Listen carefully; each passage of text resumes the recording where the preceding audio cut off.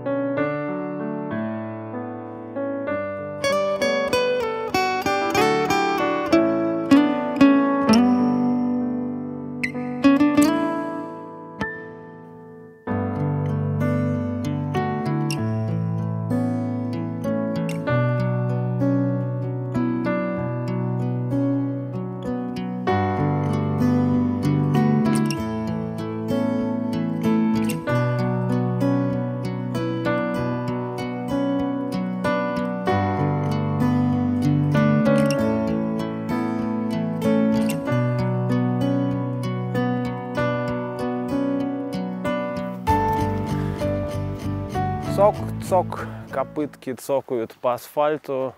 Абсолютно такая пасторальная атмосфера. Давно я хотел снять ролик про Сестрорецк, можно сказать, ставший мне уже родным. Не было оказии. Тут она случилась. Э, Комплекс «Берег курортный» э, возводится у нас. Э, Низкоэтажная застройка, что мне очень нравится, потому что я фанат такой идеи. В довольно неплохом месте, прямо скажем, о котором мы еще поговорим и покажем, где это происходит. В общем-то, благодаря этому я сегодня и буду здесь гулять и рассказывать не только про какие-то краеведческие э, истории, которые я, кстати, э, скажу честно, выборочно решил осветить, потому что если делать подробный э, обзор э, Сестрорецка, то нужно касаться еще огромного количества тем, включая Владимира Ильича Ленина, э, включая э, там, советско-финскую войну, хотя ее мы частично, может быть, коснемся, когда мы будем говорить про доты. Я решил сфокусироваться на другом, чтобы показать вам это чудесное место вот в том виде, в котором оно меня всегда радует. А, Что меня больше всего здесь привлекает, это такой микс вот, э, частной застройки. Я называю это социальным жильем. Э, Чуть было не купил, каюсь, э, дом, но решил, что нет, э, не хочу влезать в такие дикие долги, и потом дом это отдельная история, и самое главное, у меня не будет вида, вида на залив, ради чего я, собственно, сюда и переехал из э, города Петербурга, э, с севера его, и, э, значит, э, даже хрущевок. То есть здесь есть э, дома как панельки, так и, в общем-то, современные, так и вот э, такие. И вот этот микс, он создает совершенно уникальную атмосферу. В чем Сестрорецк отличается, например, от пресловутой Рублевки, да?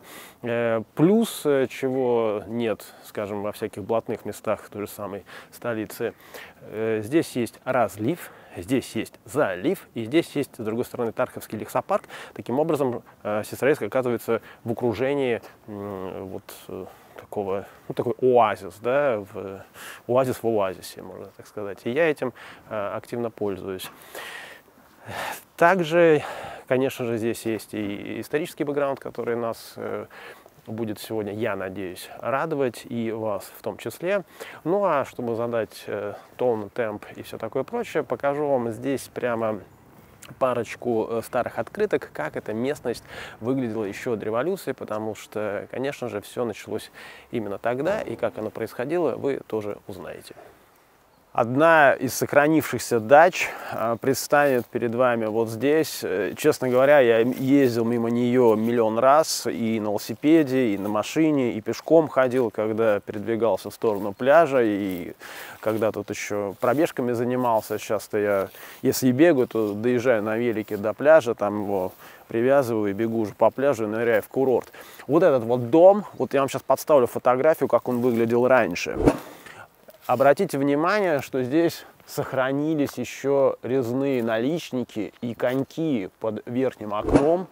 Собственно, можно догадаться, что примерно такая же ситуация могла э, быть и э, у других окон.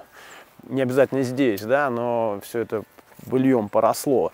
И эм, одна из э, интересных деталей про э, дачную жизнь, не только сестрорецкую, но и вообще дачную жизнь Петербурга.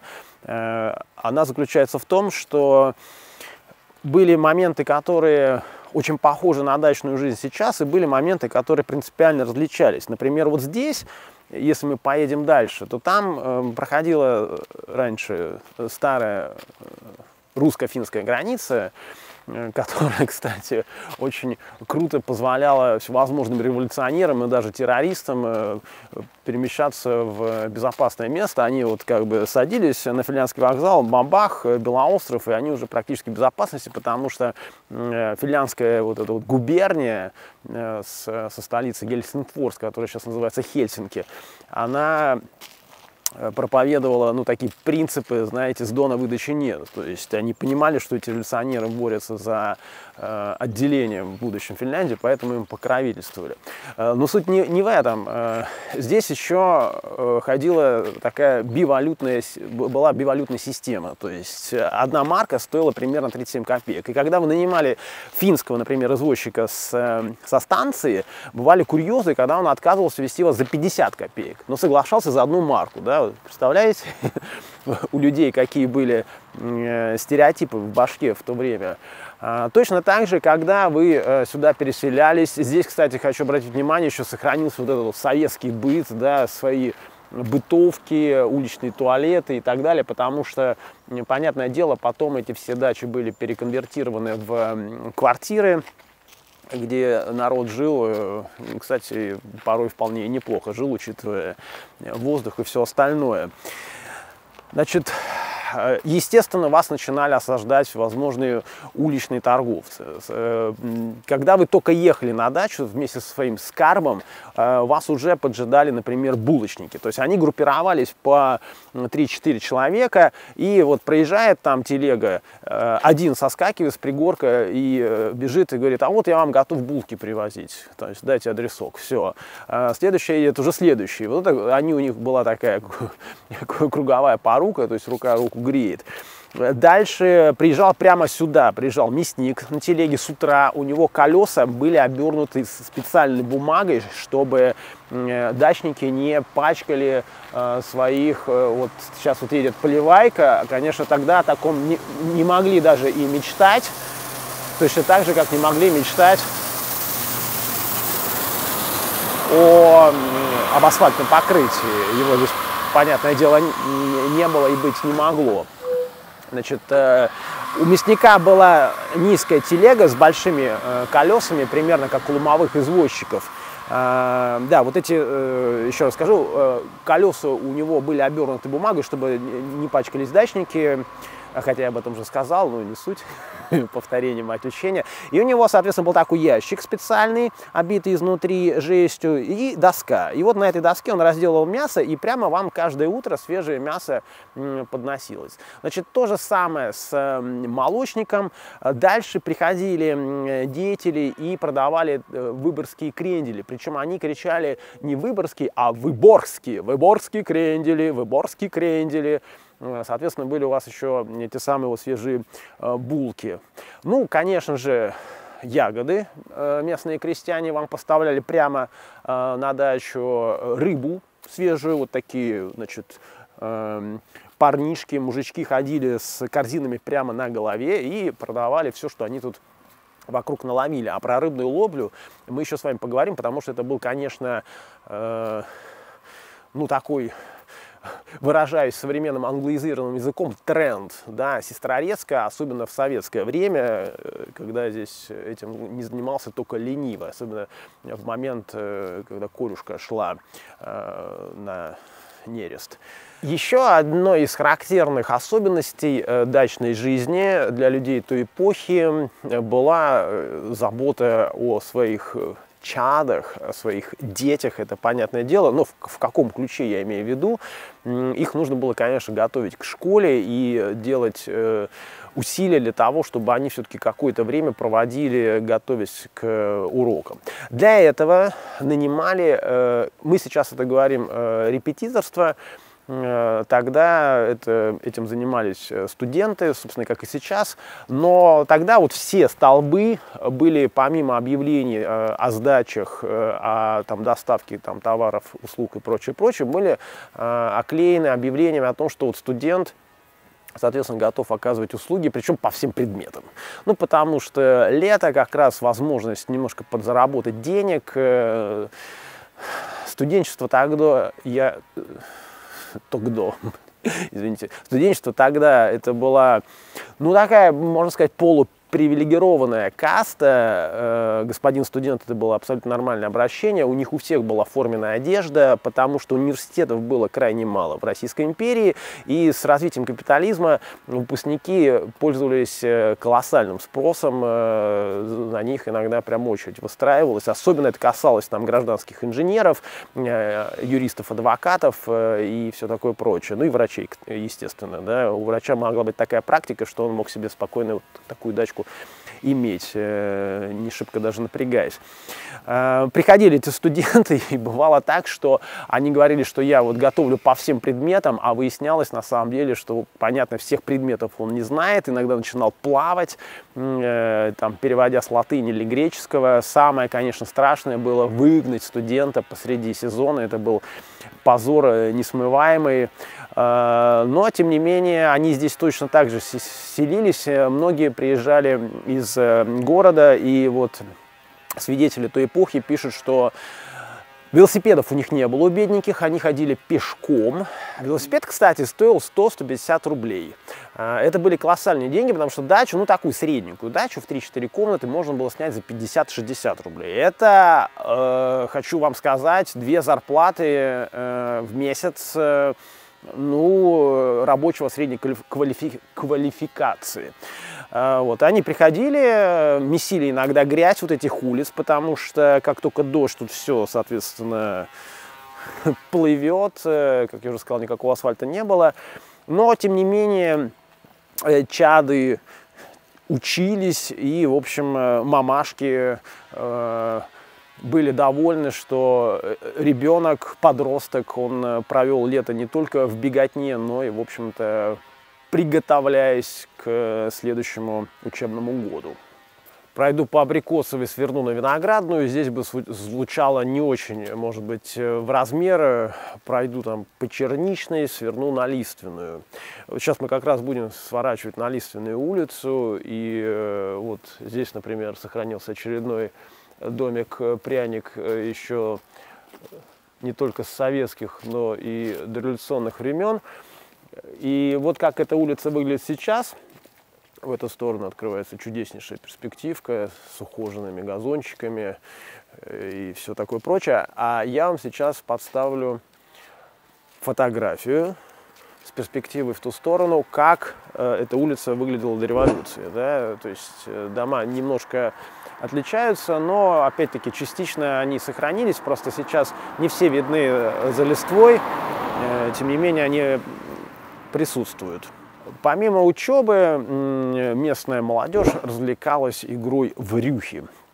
Рюхи – это одно из названий игры в городки. Э, сейчас, когда мы постоянно думаем о том, что вот нам надо возвращать то или иное забытое э, русское, советское и прочее прошлое, э, возможно, эта игра опять приобретет какую-то актуальность. Кстати, на Петропавловской крепости, на территории Петропавловской крепости есть прям отдельно выделенный участок, где собирается люди, которые кидают эти биты. И надо сказать, что наблюдать за этим э, весьма увлекательно. Пытались играть в футбол уже тогда. Понятное дело, э, мяч был немного другого свойства, чем сейчас. Э, правила тоже немного отличались. Вот, кстати, видите, одна из сохранившихся дореволюционных дач, переделанная под современное, вполне себе комфортабельное жилье. со стеклопакетами, вставленными в деревянное здание. Ну, лучше так, наверное, чем э, э, никак. И э, особенно ценились, конечно, мастера обводить и делать так называемую свечку. Это вот в футболе раньше было такое понятие. Хочу сказать, что когда я вот э, выбирал себе место для жительства, почему я выбрал Сестрорецк, потому что у меня здесь э, возникло такое ощущение малой Европы да, в России. Э, потому что ты неважно куда, приезжаешь в Словакию, во Францию, или даже ты там, путешествуешь по США, например, по Массачусетсу, в Бостоне, вот какие-то вот небольшие ассоциации в этой связи возникают. Особенно радует, в отличие, опять-таки, от э, дореволюционных историй, поскольку, скажем, продукты привозные из города строили, стоили очень дорого, а вот э, местные всякие там грибы, ягоды, они, конечно, были подешевле, включая рыбу. Э, сейчас здесь инфраструктура абсолютно развитая, все под боком. Вот я живу, у меня здесь один магазин, там другой магазин, Тут э, даже понадобилась мне зубная поликлиника, пожалуйста, перешел дорогу, и вот она есть. Тем временем очередная дореволюционная дачка перед нами возникает. Поэтому, если вы э, задумываетесь о том, э, где скоротать э, часть жизни, начинающуюся после 40, как в моем случае, Сестрорецк идеальное место. Особенно меня еще радует тот факт, что очень удобно добираться до города. Если у вас особенно есть автомобиль, э, сели, круиз-контроль. Сейчас везде стоят камерки, все ездят как заиньки, уже там э, не то чтобы 120, 140, э, уже сотни никто не летает. Э, поехали как пусечки и едем но добираешься достаточно быстро. В этом плане, например, эта сторона мне всегда больше привлекала, чем южная сторона, потому что изначально я хотел поселиться э, в Петергофе, но вот меня остановило э, именно этот факт, потому что там количество светофоров гораздо больше. А здесь, например, до Беговой, где я по понедельникам играю в футбол, я добираюсь, ну, реально 20, ну, 25 минут, это прям, если вот где-то какая-то там идет э, подготовка дороги или, не дай бог, авария. Э, тут у нас, видите, происходит распил, но, правда, дерева. Поэтому мы сейчас переместимся на следующую нашу точку. Теперь я буду немного подсматривать свои подсказки э, в телефоне. Для этого я его, собственно, держу в руке. Сейчас э, здесь вот я вам э, подставлю еще одну фотографию, снятую, ну, примерно с этой точки, чтобы вы увидели, как это выглядело до революции.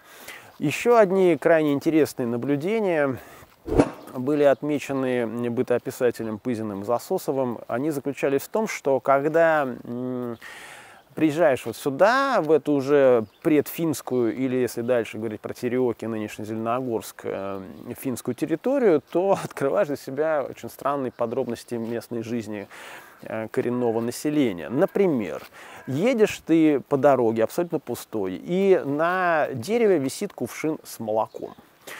А потом он, естественно, опорожняется. И на недоуменные вопросы значит, э, к семейству, которое живет в домике по соседству, говорится, что ну, это здесь вот ферма там неподалеку, это специально для почтальона, наливает молоко, он приезжает, его, соответственно, себе переливает и едет дальше. Никто другой, кроме почтальона, молоком не пользуется.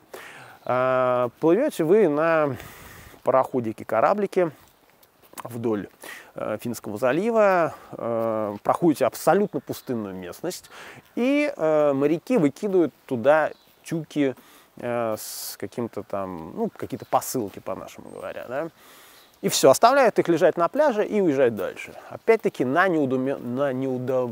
на недоуменные вопросы публики им объясняют, что здесь, в 12 верстах, есть э, деревенька. Завтра с утра значит, местные жители приедут и заберут эти тюки. Никто другой их не заберет. Конечно же, у россиян даже до революции это все вызывало э, массу вопросов. Ну и, безусловно, в рассказе о данной местности невозможно обойти вниманием такую персону, как Корней Иванович Чуковский, который здесь жил и в Куокколе у Репина, это нынешний Репина, у него есть прекрасное произведение под названием Чукоккола, да, то есть такая игра слов, это некие такие дневниковые записи с э, шаржами, рисунками и так далее. Настоятельно рекомендую вам с этой книжкой ознакомиться. Она, если что, есть бесплатно даже в интернете, есть э, ее подробный скан. И есть также у него дневник, очень подробный, в двух частях, э, до, по-моему, 29 -го года, из 29 там по 60 какой-то год. И вот, например, э, что пишет э, Корней Иванович Чуковский по поводу характера уже советского, как местность преобразилась. В Сестрорецке, в пустой даче Емельяновой за рекой. За рекой это, соответственно, за рекой Сестрой курорте лечатся 500 рабочих. Для них оборудованы ванны, прекрасная столовая. Питание 6 раз в день. Да? Э, порядок идеальный всюду в саду ящики для окурков. Больные в полосатых казенных костюмах. Сердце радуется, наконец-то рабочие могут лечиться. У них более 200 слуг, э, пишет Чуковский, подразумевая под слугами э, обслуживающий персонал. Тем не менее, как он отмечает дальше, рабочие недовольны. Во-первых, тем, что их все равно плохо кормят, хотя он пишет о том, что им дается калорий в два раза больше. Это такая тема той эпохи, когда очень важно было отметить количество калорий а, поскольку все было рассчитано на то, сколько сил ты тратишь на производстве и сколько тебе нужно восстановиться, все вот подчинено идее производства. Дальше они окурки, как он пишет, ни в какие ящики специально не складывают, кидают их на землю, постоянно норовят э, удрать в пивную, ну и вообще вот их не очень довольное лицо говорит о многом. Тем не менее, Однако это все вздор в сравнении с тем фактом, что прежде эти люди задыхались бы до смерти в грязи, в чаду, в болезни, а теперь им дано дышать э, по-человечески. То есть э, когда советская власть э, национализировала какие-то значит, э, объекты и отдавала их, особенно детям, это все-таки было зачастую во благо. Другой вопрос, что народ иногда вел себя таким образом, что вот сколько тебе не дай, все мало и все тебя не устраивает. Ну а мы, видите, тем временем вышли вот сюда. Вот конкретно на этой площадке замечательной э, познакомился с э, местными, которые живут в этих частных особняках, и они, когда приводят своих деток быстренько в воду. Ну и я не удержался, спросил, а вы как-то, ну, не брезгуете? Они говорят, да, мы тут уже годами купаемся. Но я подумал, раз эти люди как бы не, не то чтобы не боятся, а пользуются случаем, то буду я. И вот третий год купаюсь, особенно этим летом это было просто спасение. Я укупался, мне кажется, на много лет вперед. И я вам хочу сказать, что здесь мелко. Э, некоторых это расстраивает. Меня это только радует, потому что, во-первых, песчаный песок, обратите внимание, да, замечательно, его чистят периодически. И вот когда ты приезжаешь на Черное море, особенно когда вот мы стояли на так называемых скалках, э, между Новым Светом и бухтой Веселой, там есть такая можжевеловая роща, и ночью я, ну, скажу честно, побаивался купаться в Черном море. Особенно с камней, когда прыгаешь. Э, я человек такой, знаете, творческий, впечатлительный, мне все время что-то кажется. Я боюсь э, пребывать один в горах, я боюсь вылезать из палатки. ну, страшно мне в горах, ну, да, вот такой я вот признаюсь. А здесь реально приходишь, вот э, я, например, сейчас стал по средам играть в футбол, тут с, местными 8 часов начала, мы заканчиваем уже после 10, и вот когда уже темнеет, ну сейчас я не купаюсь, я не морж, а когда было нормально, приходишь туда, залезаешь спокойненько и плывешь. И ты прекрасно знаешь, что никакая медуза тебя никуда не укусит, что ты не утонешь, потому что, ну вот ты плывешь, плывешь, бац, встал, все спокойно, хорошо. Луна выходит, очень красиво, никого нет, и только, знаете, какой-нибудь редкий фонарик э, промелькнет э, и соответственно, даст о себе знать. Вот для меня это э, то, что называется УТП данного места, уникальное э, торговое предложение. И э, фактически вот конкретно этим летом я можно сказать, ощутил прелесть курортной жизни в самом ее э, лучшем варианте. Ты, особенно в выходные, когда сюда народ приезжает валом, припарковаться некуда, а ты садишься на велосипед, буквально там несколько минут, ты на пляже, здесь его привязал, местные, ты с ними знаком, кидаешь им рюкзачок. Надо сказать, что э, и э, до революции, конечно же, эта местность пользовалась именно поэтому спросом, но об этом мы поговорим уже непосредственно в курорте.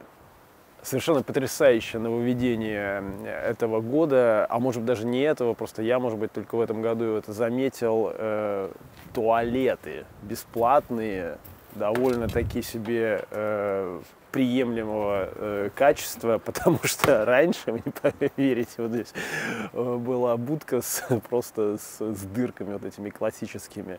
Ну а если вы хотите э, приучиться или приучить своего ребятенка к лошадкам, как это пытался сделать я, но мы начинали с пони, а потом нам сказали, что надо уже серьезно заниматься. Я сказал, нет, лошадиный спорт только через мой труп, потому что я знаю, сколько это стоит, ну и все такое прочее. То вот вам, пожалуйста, здесь прямо э, в парке Дубки находится конный клуб куда вы можете приходить и заниматься.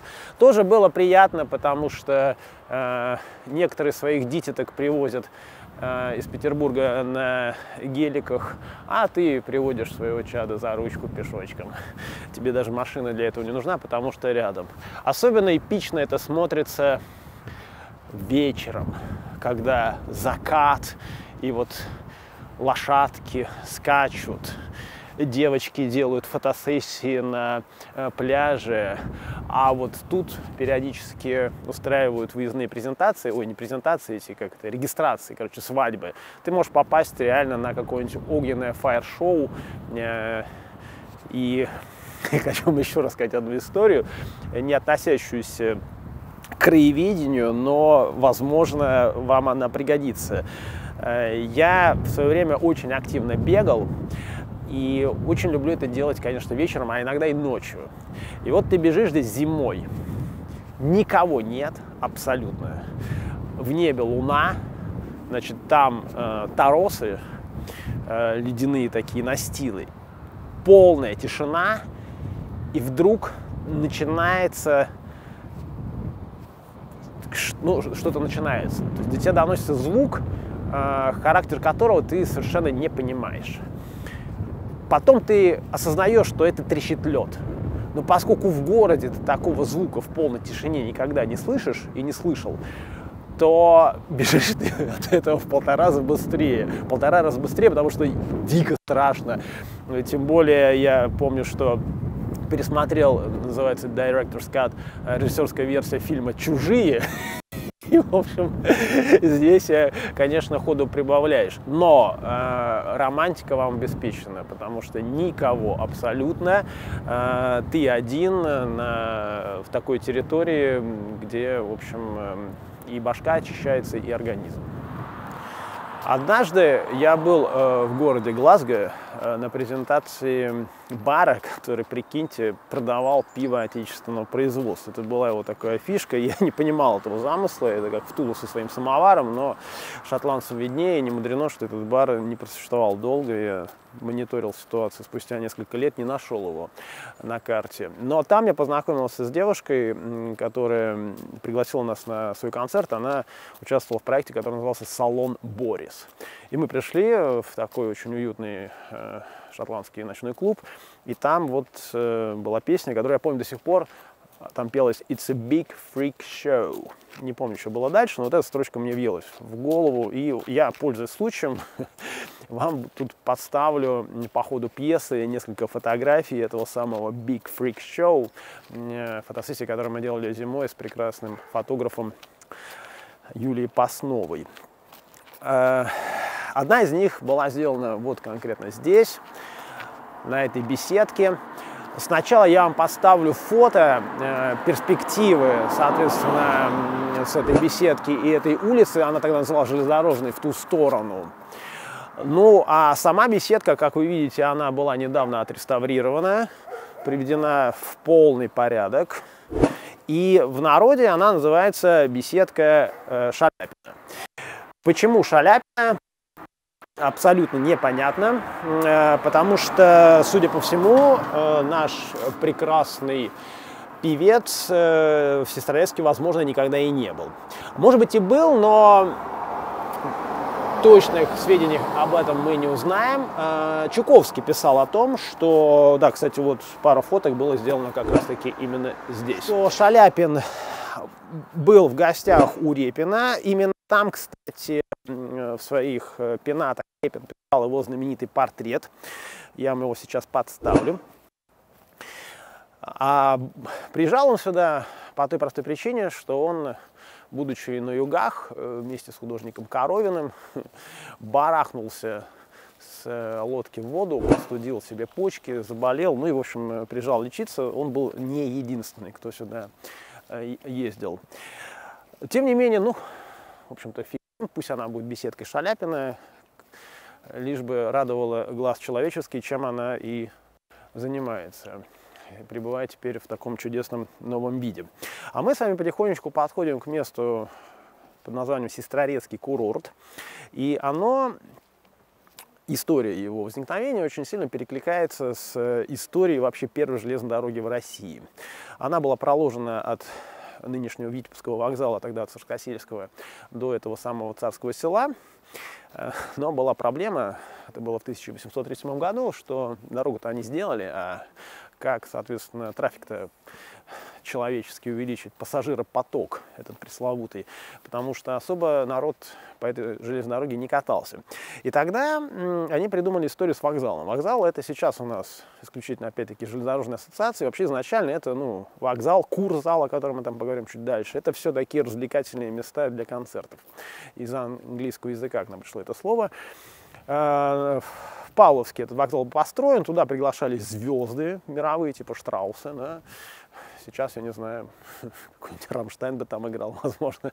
Ну или, я не знаю, Бейонсе, э, в зависимости от того, какие у вас музыкальные вкусы. Ну и народ повалил. То же самое здесь. Дело в том, что вот там проходит берег Финского залива, на который мы сейчас опять выйдем, э, и э, пляж. И здесь даже дачная вот эта инфраструктура, она развивалась большим треском. Железнодорожную ветку сначала пытались протянуть от Белоострова, то есть вот, э, вот, вот с той стороны. То есть Петербург там, да, Выборг там.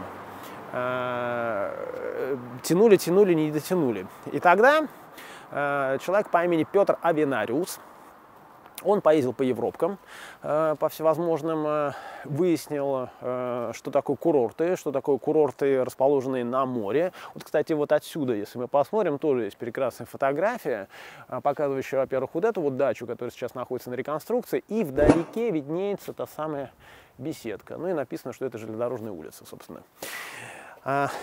Он решил здесь устроить этот самый курорт не столько даже как бизнес-проект самого курорта, сколько как э, бизнес-проект самой железнодорожной ветки, поскольку он был одним из акционеров ее. Ветка была проложена одноколейка, она до сих пор одноколейная, э, от э, старой деревни, там тогда это назывался Приморский вокзал, вот она шла прям вдоль берега. И, кстати, станций железнодорожных было больше, чем сейчас. Одну из них, исчезнувшую, исчезнувшую мы вам в скорости покажем народ повалил, да, действительно, как тут дело обстояло, я расскажу позже, но, забегая вперед, хочу сказать, что это не спасло. Эту железнодорожную ветку, э, к сожалению, все равно она прогорела, и пока она не была взята э, под покровительство города, да, не передана в управление городом, она, собственно, так и не заладилась. А вот на месте этой стоянки раньше была гостиница – вот я вам сейчас подставлю фотографию совершенно чудесную, где написано, как она называется. По-французски это звучит как булер. Булер это дерзкий, дерзкий такой. Вот. Э, стояла она прямо на этом месте. И она была предназначена, естественно, для тех, кто приезжал в Сестрорецкий курорт, а сама вот эта вот, э, ну, вот этот переход, железнодорожный, он тоже раньше выглядел иначе, потому что вот эта конкретная арка, она построена в 1898 году, о чем, собственно, вы можете догадаться, прочитав год прямо э, сверху. А раньше, вот как это все было выгля... как это все выглядело, я вам сейчас покажу, подставив, как мне сказала одна из моих экскурсанток, фотокарточку. Я теперь это слово активно использую. Интересная подробность, э, связанная с тем, что в то время на вот этой русско-финской границе, российско-финской границе, помимо всевозможной нелегальной литературы и прочего, э, пасли еще и провоз водки. То есть наши возили водку в Финляндию. Я вот этот момент не изучал, э, где она там что дешевле стоила. Ну, видать, она э, в России стоила дешевле, чем в Финляндии. И вот в этот момент, конечно, таможня оживлялась. Здесь, кстати, у нас еще одно вам э, фрик-шоу будет э, подставлено. Ну а улица, которая вот сейчас скрыта этой зеленью, где мы с вами гуляли, ныне называемая Андреева, когда-то железнодорожный Андреев, это не писатель Андреев, как хотелось бы сначала думать, потому что он тоже жил когда-то в тех краях, и в воспоминаниях Чуковского об этом тоже сказано. Это фамилия одного из директоров непосредственно санатория Сестрорецкий курорт уже советской эпохи. Вот эта площадка, где играют в баскетбол, э, в теннис, э, раньше на самом деле представляла собой курзал. То есть, если бы мы вот э, посмотрели в ту сторону, мы бы увидели летнюю террасу, и потом мы с вами выйдем на пляж, и я вам покажу, как этот курзал выглядел, соответственно, со стороны моря. Это была одна из затей Винариуса, опять-таки, вот как раз по принципу того самого Павловского вокзала, только там был вокзал, здесь курзал, э, приглашать сюда оркестр, чтобы он играл. Э, короче, выражаясь современным языком, устраивать дискотеки. Выездные загородные дискотеки для отдыхающих, которые сюда приезжали лечиться и отдыхать. Ну и прежде всего, конечно же, для них, да, ну и для тех, кто приезжает непосредственно на выходные. По воспоминаниям бытописателей Пызина и Засосова, в основном здесь не столько лечились, сколько занимались флиртом. Ну, а почему нет? Выехали за город летом э, на море, на наш маленький такой биориц, почему бы этим не заняться.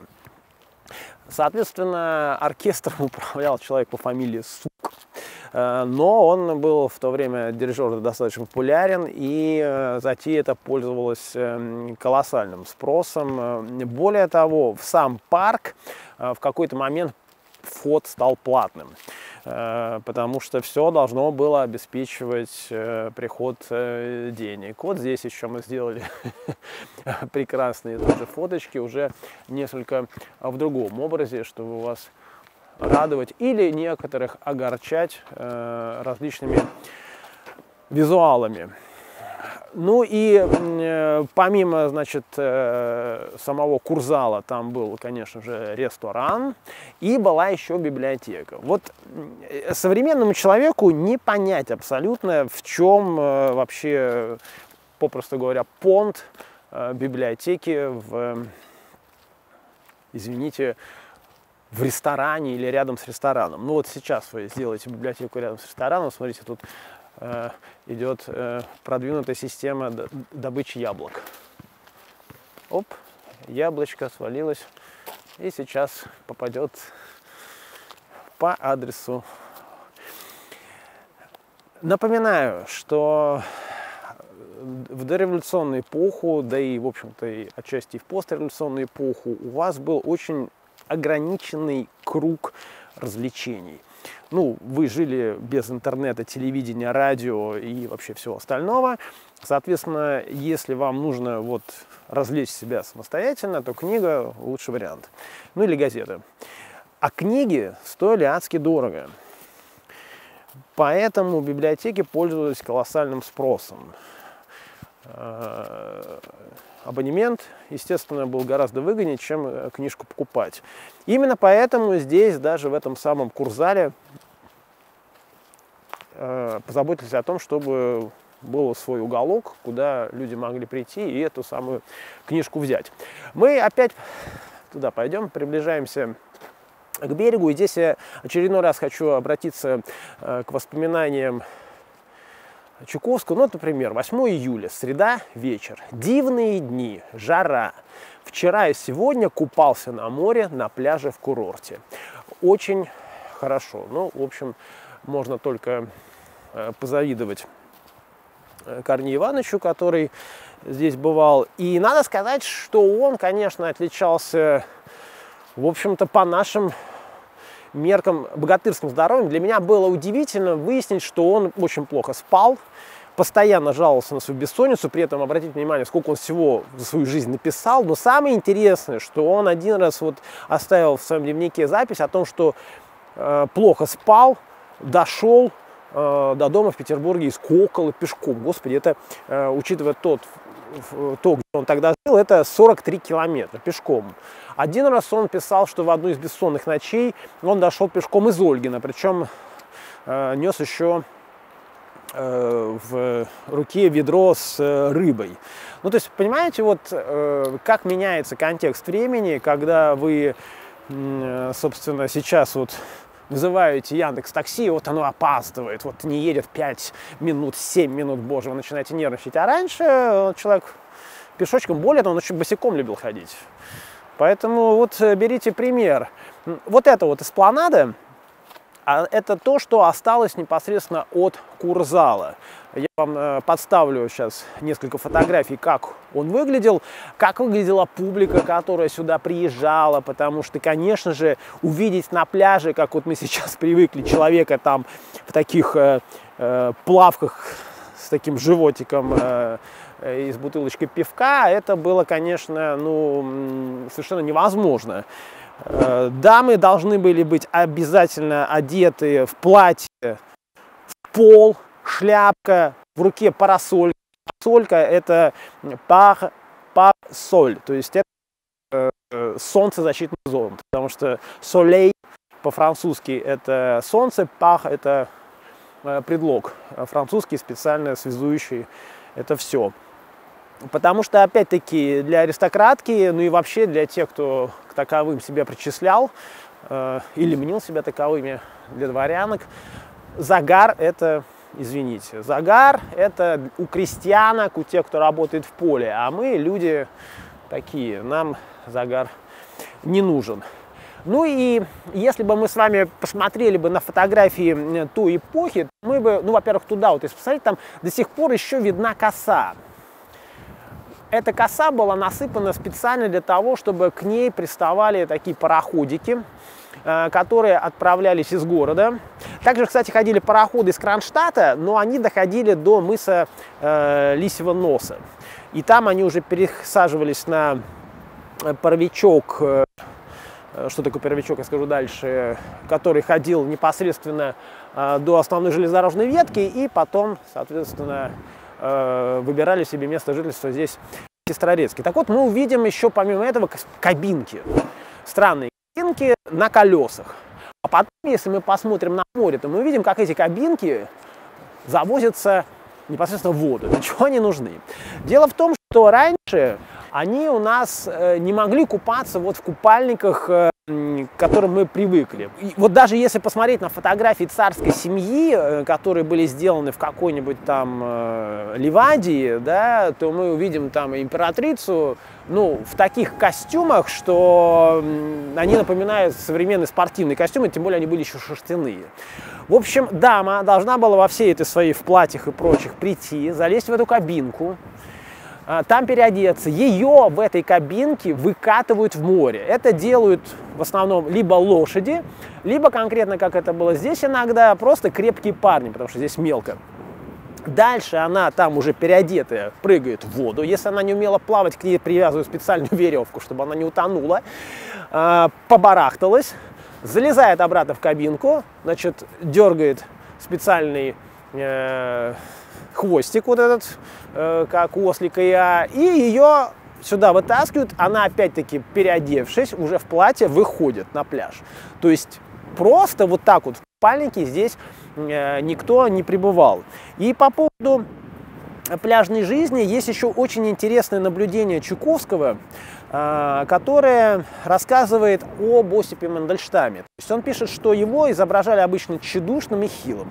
Впалая грудь, изможденные щеки. Таким и был он в последние годы. Но мне вспоминается другой Мандельштам. Сильный, красивый и стройный. Согласитесь, как не вяжется с действительно образом этого поэта.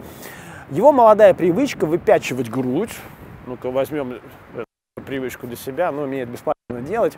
Помню, в предосеннюю пору мы вышли с ними и другими друзьями на пустынный Куокальский пляж. Речь идет конкретно в данном случае не про пляж, а про пляж в Репину, но это, поверьте мне, не очень далеко отсюда, особенно если вы на автомобиле. День был мрачный и ветреный, купальщиков не было, и вдруг Осип Эмильевич молча сбросил с себя легкую одежду, не успели мы удивиться, как он оказался в воде, и быстро поплыл по направлению к Кронштадту, то есть вот туда вот он а, отправился. Плыл он со саженками. Его сильные руки, саженками, ну, а слово сажень, его сильные руки, казавшиеся белыми на тусклом фоне Свинцового моря, ритмически взлетали над водой против ветра. Не помню, кто был тогда с нами, кажется, Борис Григорьев, Николай Кульбин, Юрий Аненков. Но из них я знаю только Юрий Аненков. Мы подошли к Мандельштаму, едва он только воротился. Я хотел принести полотенце, теплую куртку, думал недалеко, в двух шагах, но Мандельштам, не сказав ни слова, стал бегать по холодному пляжу так быстро, что нельзя было не залюбоваться его здоровьем и молодостью. Бегал он долго до устали. Но вот э, совершенно потрясающее свидетельство, и очередной раз оно показывает, как все-таки меняется э, восприятие человека, когда мы смотрим на него теми или иными э, глазами. Еще одним из главных пунктов э, развлечения, а самое главное лечение местного досуга э, был пансионат, санаторий, как угодно его называйте, э, где, во-первых, была своя собственная лечебная грязь, она до сих пор есть.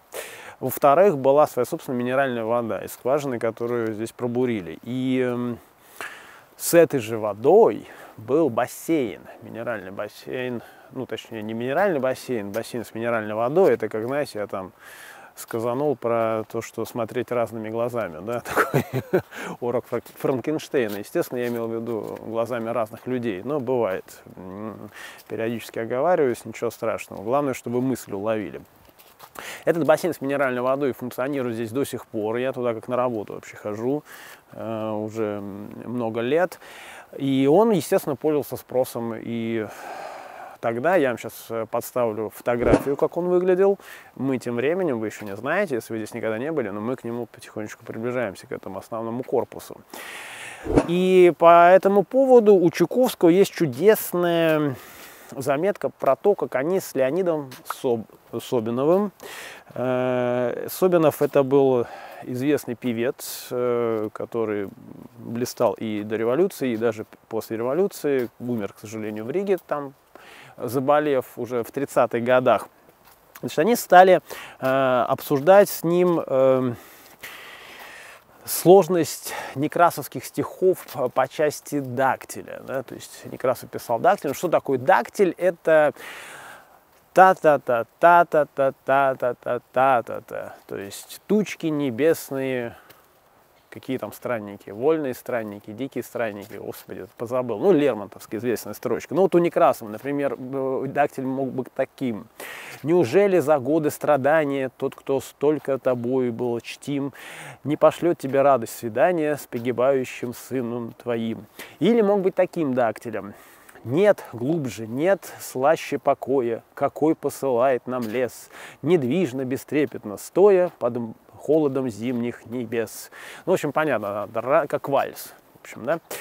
И Собинов сказал, да нет, что тут сложного, и сочинил экспромт прямо здесь же для Чуковского. Э, экспромт, описывающий обстановку как раз лечения уже в санатории советском. В уголочке огороженном лампой кварцевой полим, охлаждая жар мороженым, стройный, словно херувим. Сам Корней с улыбкой скромную, мне ладонью огромную, машет мило в такт приветствия, предлагает тоже следствие, тоже средствие. Тут же сестры милосердия в электрической клети, имеется в виду электрофорез, в исцелении предсердия держит птичкой заперти. И меня, раба блаженного знати, впрямь я много пенного и французского, и ренского выпил в славу пола женского. Вот этот корпус. где, собственно, э, особенного ну, не мучили, а вот этой вот э, электрической цепью его лечили. И Чуковский постоянно здесь снимал различные дачи. И вот э, одна из этих дач э, находилась э, неподалеку от станции, ныне упраздненной.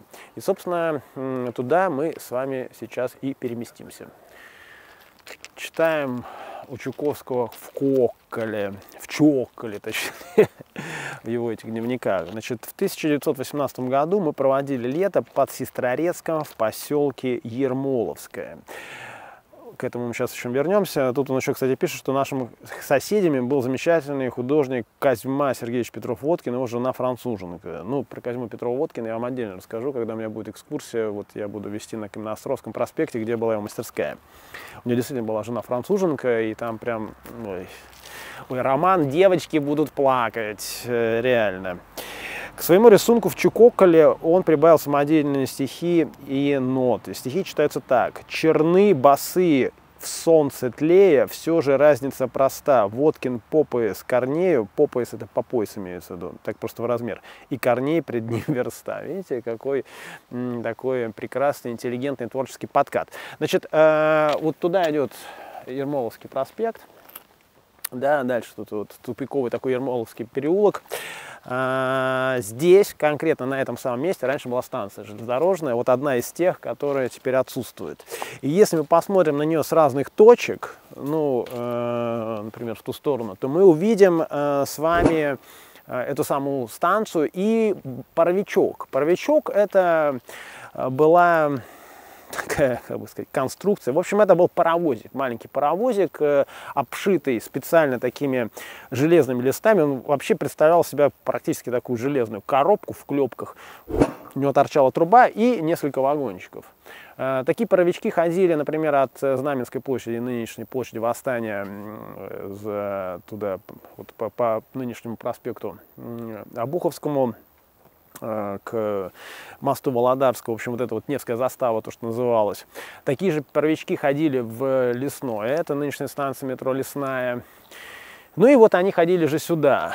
Э, собственно, народ доезжал, здесь они сходили. Следующая станция была как раз-таки Сестрорецкий курорт, то есть если мы туда поедем, мы ее, собственно, и встретим. Как вы видите, до сих пор одноколейная железнодорожная полоса.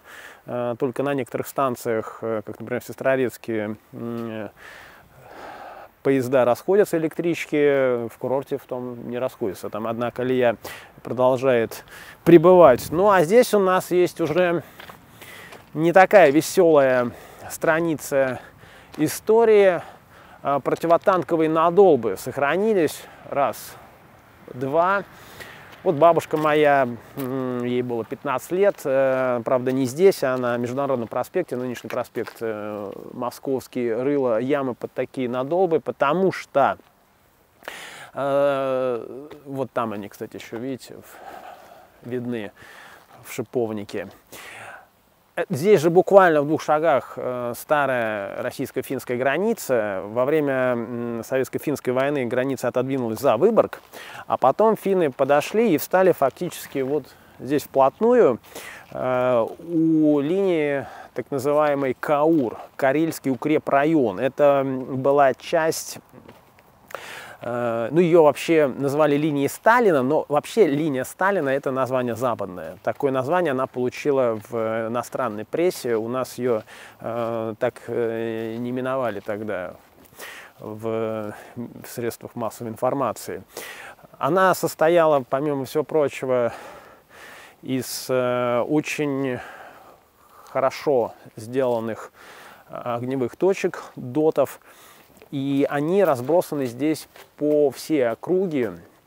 Вот один из самых моих любимых находится прямо в лесу, но есть парочка и на берегу Финского залива. До одного мы с вами не доберемся. Туда, кстати, очень круто приезжать на велосипеде. Там такая достаточно уединенная часть залива, раскиданы такие ракушки от меди, э, камышовый тростник и все такое прочее. А вот один из них э, сохранился на косе в парке Дубки. И вот его-то мы с вами в скорости и увидим. Безусловно, одной из э, главных исторических достопримечательностей, ну как исторических, об этом мы сейчас поговорим, является вот эта бочка. Э, когда люди несведущие приезжают, они думают, что это есть та самая модель так называемого потаенного судна, э, которое сделал, здесь вот э, отмечено на этом мемориальном камне, испытание потаенного судна Ефима Никонова, он был Прокопьевич по отцу, да, в присутствии Петра I 1721 год. Значит, ну, честно говоря, это вилами по воде писано, было ли оно здесь испытание, но мы об этом сейчас тоже э, поговорим. Значит, э, действительно, вот этот самородок, он э, подал э, такой проект э, о том, чтобы вот некое судно подходит к вражескому кораблю и взрывает его. Сначала этот проект отвергли, но когда этому э, парню сказали, а ты припиши потаенное, вот тут Петр I сразу заинтересовался. Э, были выделены деньги на его строительство. Помимо всего, значит, э, его просмаливали специальным э, салом, чтобы не протекали э, швы. Там был целый набор материалов, которые были необходимы. Самое интересное, что 50 свечей. То есть испытание этого потаенного судна изначально, оно было, кстати, на реке Мойке, происходило при свечах достаточно романтической атмосфере. Кстати, ну, я не знаю, хватит, схватит ли камера, если туда заглянуть, нет, я думаю, что она, наверное, не... А, слушайте, они убрали. Тут раньше еще были такие эти сидели э, морячки, подводники. Сейчас их там нету. Э, как видите, грибная сила. Более того, этот Никонов догадался, что надо бы нам э, сделать специальных кож, такие, значит, костюмы, сверху деревянный непромокаемый ящик, и чтобы еще они вот под водой ходили, шведские корабли взрывали. Короче, такой прототип водолаза. Но, в общем, э, построили они эту бочку, и вроде как вот здесь, в Сесарайском разливе, происходило испытание, но было оно, мягко говоря, не очень удачное. Пойдем потихонечку туда, потому что на 3 метра они опустились, там пробили дно, и этих несчастных моряков еле успели спасти. Тем не менее, если бы этот факт был действительно запротоколирован, тут, видите, она же изображена, э, то, возможно, мы 300-летие нашего подводного флота праздновали бы совершенно не в ту дату, в которую это принято. Вот этот храм – это новодельный храм. На самом деле, э, собор Петра и Павла, здесь вот прекрасно показано, он стоял на том самом месте, э, где раньше находилась что я говорю? Короче, он стоял на том месте, где сейчас находится школа, вот прямо здесь, а перед ним у нас сейчас памятник Ленину располагается. Вообще вот эта вся местность, если бы оказались вот здесь бы, вы бы ее, конечно, просто не узнали бы, как она преобразилась. Обратите внимание, как вот Сестрорецк раньше выглядел. А если мы спустимся вот здесь, к берегу этого самого разлива, который это вообще-то искусственный водоем. Вот это в голове совершенно не укладывается, что все это когда-то было вырыто. Без каких бы то ни было экскаваторов, рученьками, рученьками. Но, в принципе, если вы приедете в Кронштадт и посмотрите на сухой док, то там у вас тоже немножко а, будет отвал башки. Разлив этот был сделан для того, чтобы снабжать водой э, Сестрорецкий оружейный завод. Он у нас располагается вот на том берегу. Кстати, там вот примерно в той области раньше была Иордания. Я вот сейчас подставлю вам э, фотографию, как это выглядело, где у нас происходили крещения, поэтому она так и была названа. Э, ну, для чего вода? Чтобы перепад высот и приводить в движение, соответственно, механизмы этого завода. Вот если посмотреть сюда, то мы увидим здесь э, странные остатки чего-то, какие-то острова, видите, камни и прочее. Это старая плотина, построена еще по проекту Дистрема, э, такого французского происхождения инженера. Она нужна была для того, чтобы когда идет переполнение воды в этом разливе, чтобы ее сливать, Финский залив. То есть вот там Финский залив, и по этому каналу она туда идет. Собственно, на берегу этого самого канала значит, комплекс апартаментов, и у нас будет стоять только ближе непосредственно э, к заливу. А здесь вот он начинается. И э, плотину это прорвало в какой-то момент, потому что ну, не выдержала она напора. А построили новую плотину по проекту уже другого э, инженера Гаусмана, мы сейчас к ней, собственно, пойдем. И пока мы будем идти, я хочу вам прочитать самые интересные факты из истории этого самого Сестрорецкого оружейного завода, который был основан еще Петром Первым по названию понятно, для чего он служил. Например, в 1748 году э, завод и парк Дубки, где мы с вами еще окажемся, посетила Елизавета Петровна, тогда императрица. Она собирала плоды с фруктовых деревьев, посаженные Петром, это про дубки идет речь. При посещении завода, покушав ухи, приготовленные из ершей и куришки, сестрорецких рыболовных мест, нашла ее вкусной приказав доставлять во дворец к себе обеденному столу. То есть рыбу отсюда доставляли непосредственно собой императрицы в то время. С этой целью по распоряжению заводского начальства был устроен при устье э, реки Сестры садок, куда приезжали придворные повара для варенья ухи и рыбных блюд, доставляемых к столу императрицы. И вуаля, понимаете? То есть э, самая от кутюр э, кюзин, да, кухня богов. 1750 год по велению Елизаветы Петровны на заводе была изготовлена серебряная рака для мощей Александра Невского. Это та самая рака, которая сейчас у нас находится в Эрмитаже, а раньше она у нас располагалась в э, Александра Невской лавре непосредственно, да. А, дальше идем. Завод э, передан из государственной военной коллегии в подчинение генерал-фельдцейхмейстеру. Генерал-фельдцейхмейстер – это э, начальник артиллерии. Это, например, должность, которую э, потом занимал Михаил Павлович, это младший сын Павла I, муж великой княгини Елены Павловны. Специально для него был построен Михайловский дворец, ныне Русский музей. При Елизавете Петровне на заводе организован монетный двор, где из негодных орудийных стволов некачественно э, начеканено 2 миллиона рублей. То есть здесь переплавляли на медные деньги вот эти самые стволы. И с этим вот э, связана интересная история, что э, Мусин Пушкин э, докладывал Медь была низкого качества, два образца были изготовлены бракованными, с трещинами. Лишь в 1761 году в Сестрорецк было завезено и переплавлено монету 601 орудие весом 22 034 пуда.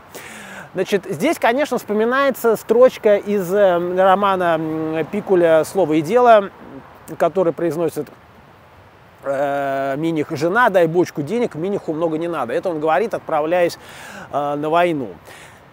Действительно, вы могли получать зарплаты в бочками денег. Например, с этим связана знаменитая история Ломоносова, когда он э, написал вот э, в 1748 году оду на день восшествия на престол императрицы Елизаветы Петровны, то есть когда она заняла наконец долгожданный трон, там были прекрасные строки. Европа утомленно в брани, из пламени подняв главу, к тебе свои простерла длани сквозь дым, курение и мглу. Теперь понимаете, почему так ценится Пушкин? Потому что начал писать вообще на нормальном русском языке. А, и, соответственно, ему э, за это, не помню, 2000 рублей, что ли, она ему выделила, но не этими деньгами.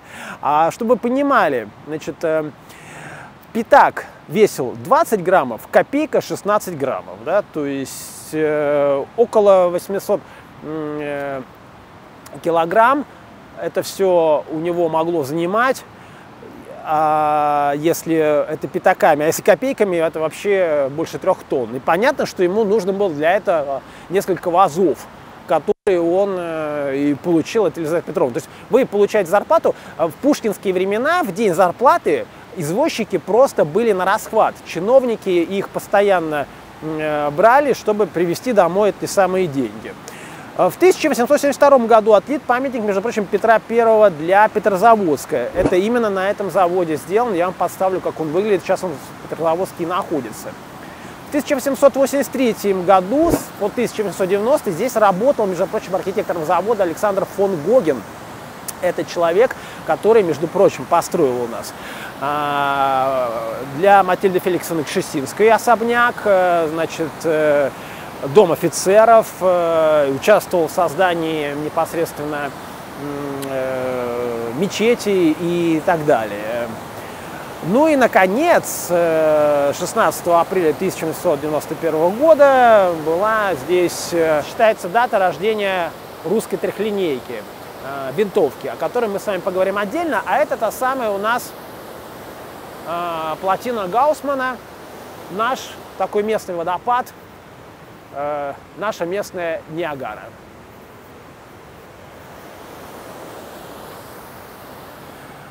Безусловно, один из самых известных э, брендов, одна из самых известных марк оружейных в мире это Калашников, автомат Калашникова. Но э, изобретение конкретно вот этого человека, оно не менее выдающиеся, учитывая то, что если вы сейчас даже просто забьете в Google калибр 7,62 на 54, 7,62 это, соответственно, толщина 54 это длина гильзы миллиметра, то вы выясните, что этот калибр актуален до сих пор. Например, вот э, пулемет печенек использует эти патроны. Вообще это изначально был патрон для вот этой винтовки которую непосредственно Сергей Иванович Мосин изобрел, он э, участвовал в конкурсе, был объявлен э, в конце 19 века. Тогда на вооружении у нас была винтовка Бердана. Я как-то рассказывал, как она нам досталась. Это был фактически такой, знаете, бонус за продажу Аляски э, со стороны Соединенных Штатов Америки.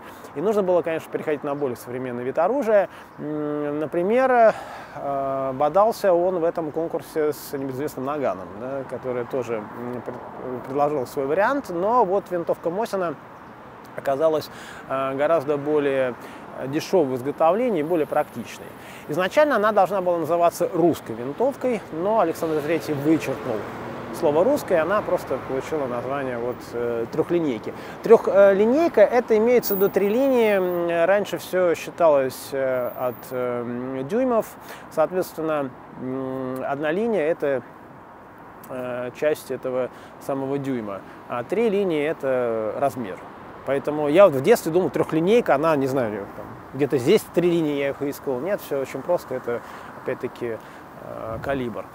И она, э, конечно же, модернизировалась. Вот патрон у нее, например, изначально был такой э, с более тупой головкой, как э, ну, у пистолета, э, господи, пистолетные патроны, да, а потом он стал более острый. И этот острый э, патрон, он обладал лучшей настильностью. То есть вы когда стреляете, пуля может лететь вот так вот, а может лететь вот более э, приближенный к земле. Вот это и есть настильность. Вот у второго патрона, который вот 7,62-54, да, у него настильность более лучшая. Не случайно здесь эти винтовки на монументе э, сделаны, вот, ну, изображены с, со штыками, э, потому что Э, их изначально даже пристреливали со штыком, а э, конец этого штыка, он вообще был не тупой. Он э, не тупой, это, я надеюсь, я не тупой, потому что на самом деле тупой. Он был он был не только острым, там была такая маленькая площадочка, то есть его когда снимаешь, он использовался еще также для разбора и сбора этой винтовки как отвертка, его можно было использовать. Но потом, конечно, Э, ее начали пристреливать другим образом, тем более была еще модификация в виде карабина, это чуть-чуть уменьшенный вариант этой винтовки, особенно э, казаки ее очень любили использовать для их рода войск. Ну и в советское время, соответственно, она была еще более модернизирована, к, к ней вернулось название русское, это произошло в тот момент, когда в начале 30-х годов Иосиф Виссарионович Сталин сказал, что все, патриотизм это опять хорошо, э, значит, все, что при царизме было, не все плохо, а вот вот все эти там наши Суворовы, Кутузовы и Мосин в том числе, это тоже хорошо, хоть они и были царские слуги. И тогда, когда еще у нас пошла вот эта история, что была такая формулировка «русский народ первый среди равных», да? а потом она получила э, формулировку э, «старший брат в семье», да? Э, понимая, как хочешь. Ну вот, собственно, то, против чего боролись всякие там Демьяны бедные, бедные в 20-х годах, вот великорусский шовинизм, вот это все, интернациональные идеи, это была превалирующая идея на тот момент. Вот опять можно было называть русской винтовкой, и она, конечно, прослужила э, прекрасно еще и в годы Второй мировой войны. За что огромное спасибо в том числе и э, вот этому замечательному человеку, памятник которому э, у нас в Сестрорецке стоит и радует глаз. Одним, конечно же, из главных развлечений местной публики было, есть и будет, я уверен, это рыбная ловля. То есть вот это, собственно, и есть водосливной канал. Э, мы показывали вам плотины в самом начале, а вот здесь она уже, эта вода вытекает в Финский залив. Именно на, здесь на берегу и будет э, сделан, построен э, комплекс. Берег курортный, э, вот в таком романтическом месте. А я вам хочу показать, как вот, например, вот этот вот берег, если мы посмотрим туда, выглядел еще э, до революции, до 17 -го года. Ну и, в общем, рыбные ловли здесь развлекались обильно. И раньше вообще, вот э, советские такие э, махровые года, когда начинала идти корешка, у всех моментально, что на работе, что у школьников, у них начинались болезни. Город охватывала самая настоящая чума. Люди исчезали с производства и из-за школьных парт. Они все находились вот здесь. Иногда, когда вы едете, особенно это, конечно, эпично ночью, то есть вы едете и вдруг вы видите в темноте, ну здесь достаточно мелко на самом деле, в темноте значит, стоят такие непонятные фигуры в воде по пояс. И это ну, производит совершенно эпичное впечатление. То есть народ просто покупает себе вот эти вот э, сапоги до ушей. Я когда жил на даче, я помню зимой, я такие сапоги специально имел, чтобы мне до нее пробираться, э, чтобы у меня снег в ботинки не попадал используют все эти приспособления, которые получили название либо паук, либо телевизор, стоят с моста, это все кидают. И, в общем, до сих пор ловля корешки является национальным видом спорта. Вот этот запах у нее такой очень характерный огуречный запах. Ты когда вот по мосту идешь или проезжаешь на велосипеде, он тебе а, сразу же бросается в нос, да, то есть ты его сразу улавливаешь. И поэтому, конечно же, если вы хотите, например, опять-таки прямо свежие, свежайшие корешки, вот здесь сейчас, то Сестрорецк одно из э, самых э, лучших мест, чтобы ее отведать. Мыс парка Дубки – это фактически искусственное такое наслоение, которое произошло, когда вот тот форт Татлебен. Э, вообще э, форты строили по очень интересной технологии, поскольку здесь мелкое, то делали так называемые кряжи, короче, в общем, сруб ставили на лед, его наполняли камнями, подпиливали этот лед, и эта вся конструкция э, падала на дно, и, соответственно, вот на этой основе потом э, все и строили. И все форты, они вот по такой схеме и построены. Вот эта вся история называется кряж. Ну и вот, вот все, что вы здесь наблюдаете, это все последствия постройки вот этого островка прекрасно во всех отношениях. Совершенно убийственные, конечно, с точки зрения э, романтики, фотографии. Можно увидеть, вот, например, посмотрите сюда, э, дореволюционные, э, как это все выглядело, какие прекрасные, милейшие люди, какой здесь был пляж. Опять-таки, как они одеты э, благополучно. Ну и здесь когда-то маячила эскадра англо-французская. Об этом мы поговорим позже, когда мы коснемся вала шведского. А вот если перенестись уже, э, уже в 20 век, то вот то, о чем я вам говорил, всех доты, все доты мы вам не покажем, но вы можете их, э, в общем-то, самостоятельно найти, они все сейчас отмечены на Яндекс картах. А вот один из них здесь есть, причем, э, если те доты, которые находятся непосредственно в лесу, они в таком первозданно, первобытном состоянии, к сожалению, все, конечно, разукрашены, разобраны и так далее, то вот этот, видите, отреставрирован. Вот такие махины здесь стояли, и надо сказать, что финны так и не смогли прорваться. Ну как, они говорили, что они э, не захотели идти, но по факту на самом деле их попросту не пустили, потому что очень хорошо все это прикрывало. Они были автономными, э, чтобы вы понимали, туда еще вот столько же спускается. Здесь немножко поднялась земля. Вот отсюда был вход в него непосредственно. И строились они, конечно, на совесть. Вот э, качество вот этого бетона, оно было таково, что когда, например, сам цемент размешивали, э, обязательно смотрели, чтобы там не было ни малейшего пузырька. За этим четко следили, и благодаря этому эти конструкции были рассчитаны на очень серьезный отпор.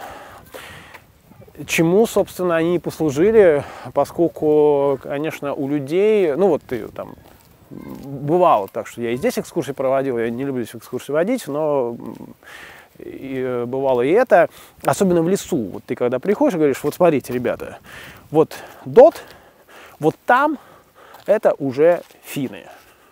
Вот здесь это еще мы.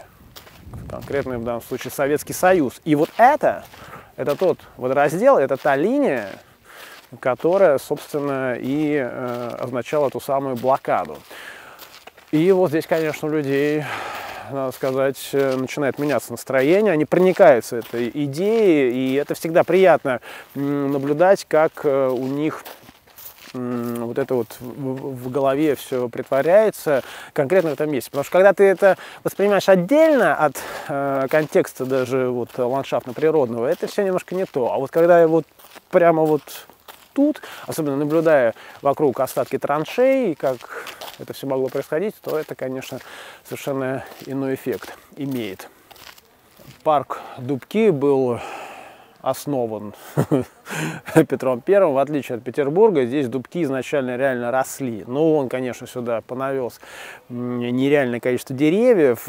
И здесь находится вот такой вот пригорочек, с которого детки зимой катаются на санках. Э, ну, совсем маленькие детки, конечно.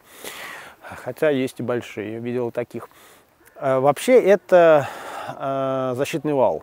Но только это защитный вал от шведов не при Петре Первом был взведен, а уже в 40-х годах, потому что у нас потом были такие рецидивы со шведами. Понятное дело, что э, шведская империя, она не могла смириться с тем, что какие-то новоявленные там непонятно кто, э, тогда еще даже они нас русскими-то не называли, да, то ли татары, то ли еще кто-то претендует на их землю. А Петр I им сразу же объяснил, что мы тут русские, мы пришли сюда и встали плотно на эту землю.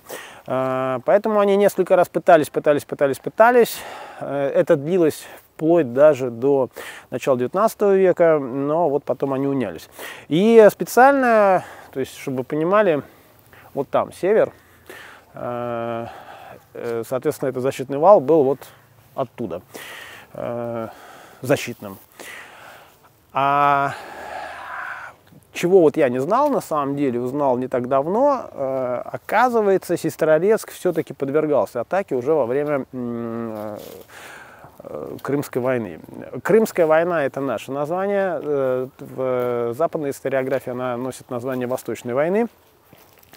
Это тот самый случай, когда действительно эскадра вошла в Финский залив. Финский залив, он очень мелкий, там есть один единственный фарватер, благодаря чему, кстати, город Неве так никто и не смог взять. Тем, более, что этот фарватер был затнут этими самыми э, фортами. То есть они стояли, и вот если корабль идет, все, прямой наводкой э, бьешь. Ну и, собственно, вообще Кронштадт изначально это крепость Кроншлот, тот самый форт. Э, они вошли, и эту эскадру Николай I наблюдал с противоположного берега из своего э, дворца коттедж он назывался, ну такой особнячок. Они все когда играли в романтику, да, Николай I имел себя рыцарем, у него, значит, Белая роза – это его супруга, императрица. Он ей построил вот этот коттедж в готическом стиле. Там была готическая ферма. Рядом Николай Бела возвел конюшни в готическом стиле. Там же э, Карл Шинкель возвел готическую капеллу. В общем, все вот такое готика-готика. Вот он смотрел в подвод... подводную подзорную трубу, видел эту эскадру. И Анна Федоровна Тютчева писала, что они ездили в Оренбаум к Елене Павловне, которая тогда владела Оренбаумом. И у нее, у этой Елены Павловны, на балконе была целая батарея подзорных труб, из которых она пыталась разглядеть эту самую вражескую эскадру. Ну что, ну постреляли, постреляли и уплыли. Ничего они в итоге так взять и не смогли.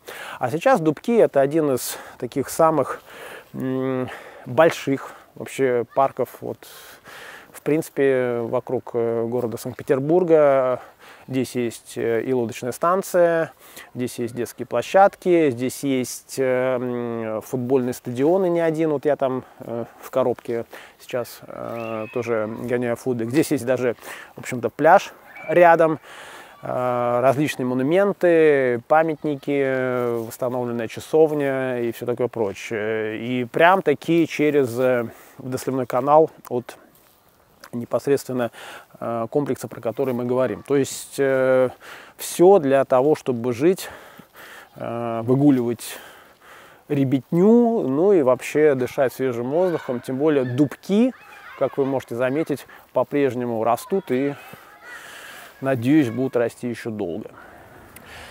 Одним из самых, конечно, потрясающих сестроречан, ну, он не коренной, он сюда переехал, собственно, я думаю, здесь, если покопать, все такие, я уж тем более из понаехавших, является, конечно же, Всеволод Бобров. Здесь у него памятник, э, где он в виде футболиста, но на самом деле он точно так же мог бы летать тут и с клюшкой в руках, потому что это человек, э, вообще занесенный в книгу рекордов Гиннесса, он э, был удачен как в футболе, так и в хоккее. Причем, ну, практически эта удача сопоставима.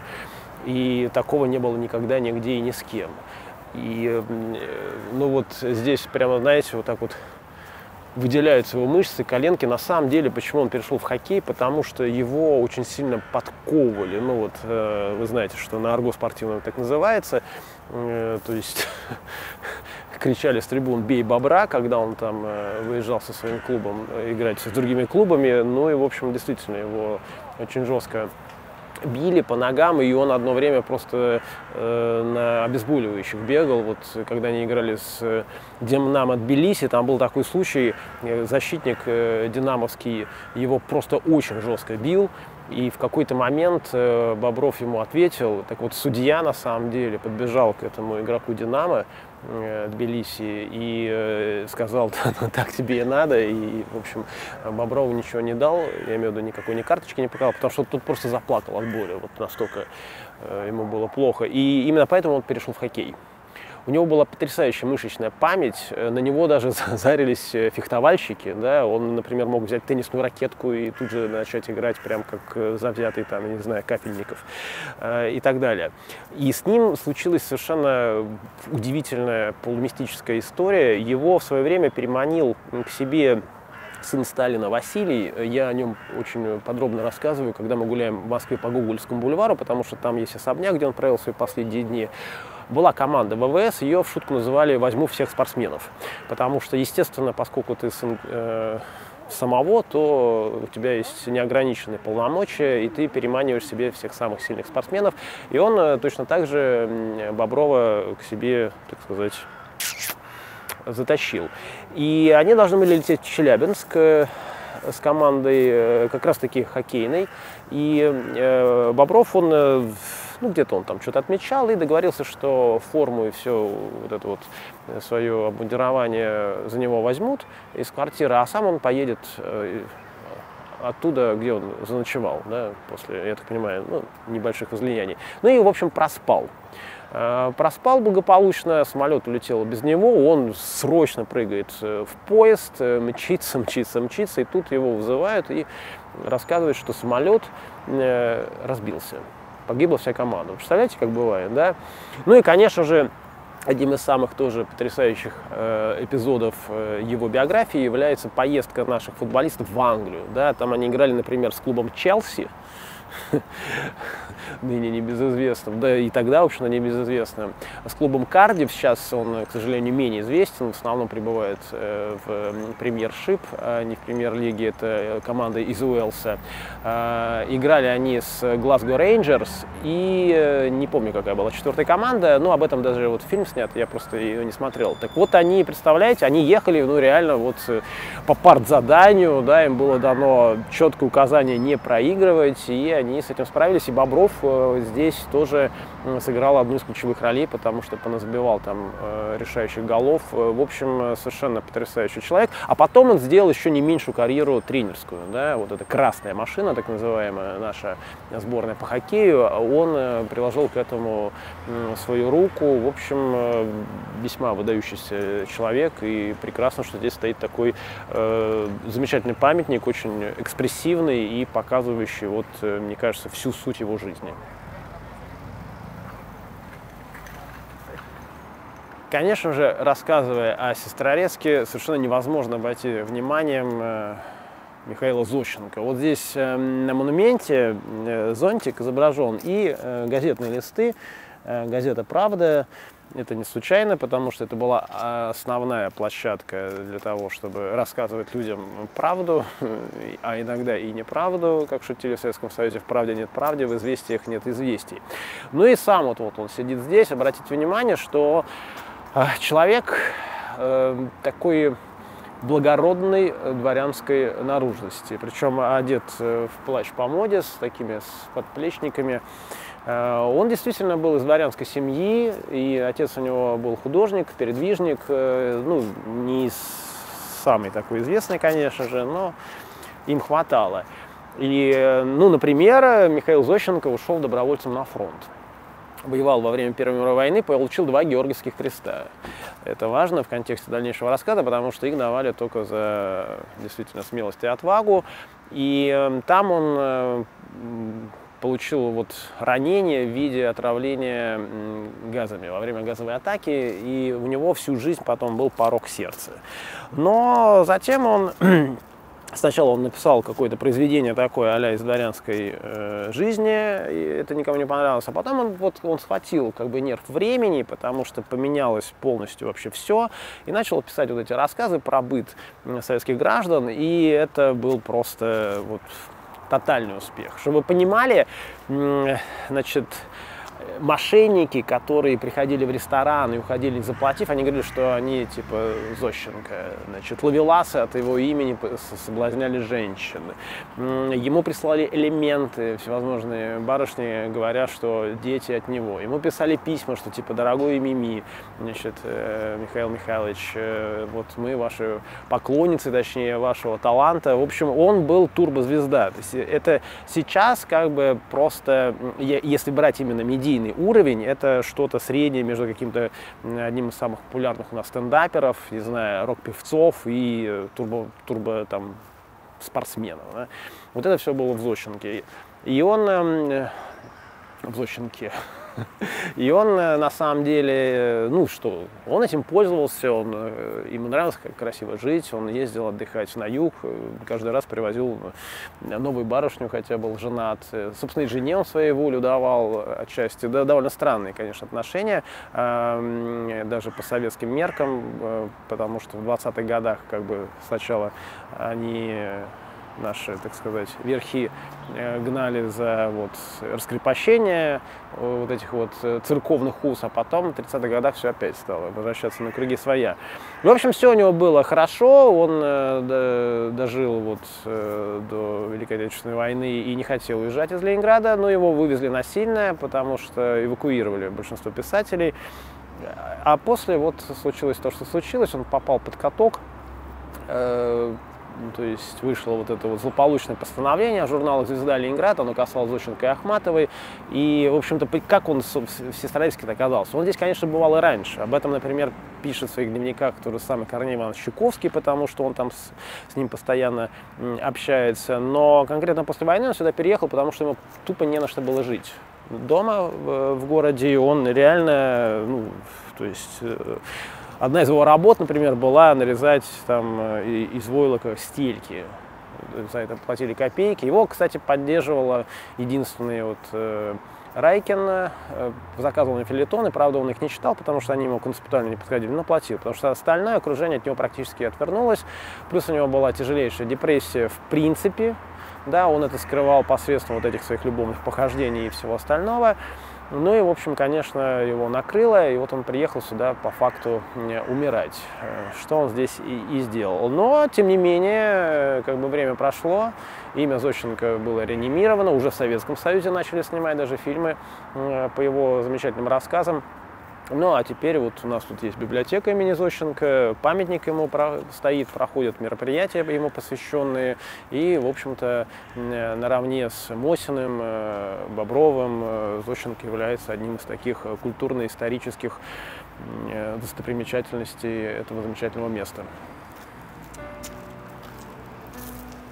В конце хочется сказать, что комплекс апартаментов «Берег курортный» от Element Development строится на берегу канала, как вы могли уже в этом убедиться буквально в 300 метрах от Финского залива. Здесь будет вся инфраструктура, даже спа с бассейном, детский клуб, ресторан и супермаркет. Благоустройство территории будет выполнено студией «Дерево Парк». Это именно они реализовали проект озеленения Новой Голландии. Будет создан променад вдоль канала, зоны отдыха с шезлонгами, детские площадки, велопарковки. Естественно, запланирован и подземный паркинг. Также предусматриваются просторные балконы с панорамным остеклением и будут апартаменты с террасами. С подробной информацией можно ознакомиться по ссылке в описании под этим видео.